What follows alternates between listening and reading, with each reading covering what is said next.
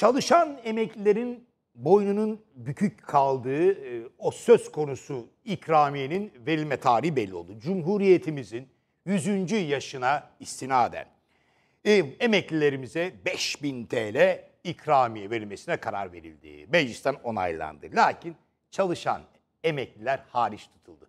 4 milyon emeklinin vallahi billahi boynu bükük kaldı. Bak dün de söyledim şimdi de söyledim yanlış yaptınız arkadaş. Yanlış yaptınız. Adil olacaksınız. Adil. Bu, bu haksızlık. Bir emekli çalışıyorsa ihtiyacı vardı ki çalışıyor. Ya ben 65 yaşında çalışan emekli biliyorum ya. 67 yaşında inşaatlarda çalışan emekli var. İnşaatlarda ağır işlerde. Bu memlekette.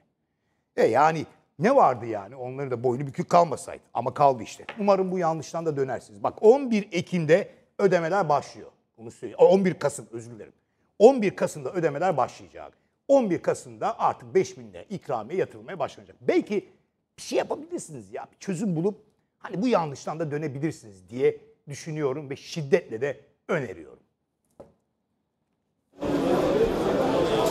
Emeklilerin gözü kulağı bu tarihteydi. Çalışmayan emekliye yapılacak 5 bin liralık ikramiye 11 Kasım'dan itibaren hesaplara yatırılacak. Cumhurbaşkanı Erdoğan talimat verdi. Çalışmayan emekliye 5 bin lira ikramiye verilmesi için düğmeye basıldı. Ve mecliste kabul edilen torba yasayla emekliye 5 bin liralık ikramiye verilmesi kabul edilerek yasalaştı. İkramiyenin verileceği tarih ise merak konusuydu.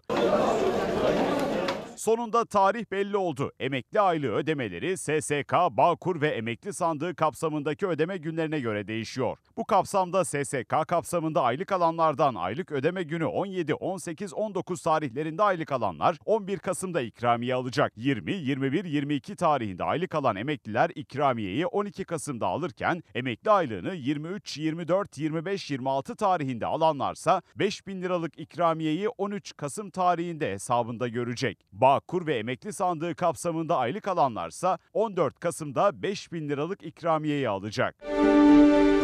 Ödemeler çalışmayan emeklilere 5 bin Türk lirası.